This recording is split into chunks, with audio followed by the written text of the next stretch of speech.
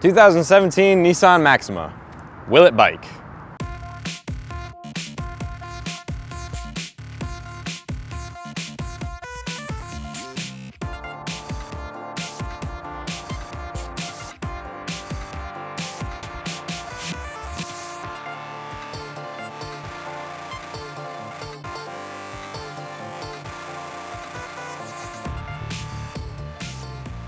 The Maxima's trunk is very capacious.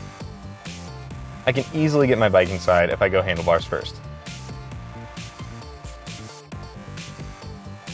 The Nissan Maxima's trunk easily accommodates my bike. It does take a little bit of upper body strength to get my front fork through the pass-through just because it's a little bit wider at the top than it is at the bottom. But overall, very easy experience putting a bicycle in here and I don't think I can sum it up better than that. The Nissan Maxima obviously bikes. It bikes really, really well.